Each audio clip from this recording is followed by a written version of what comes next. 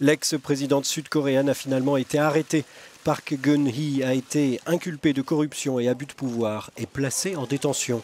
Après une audience marathon ce jeudi, le tribunal central de Séoul a émis un mandat d'arrêt contre l'ex-dirigeante qui se trouvait dans les bureaux du procureur dans l'attente de la décision du tribunal.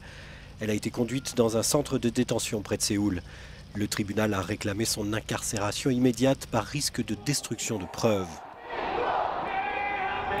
Première femme à accéder à la magistrature suprême en Corée du Sud, Park Geun-hee a été destituée en décembre dernier après une retentissante affaire de corruption qui a jeté des millions de Sud-Coréens dans la rue.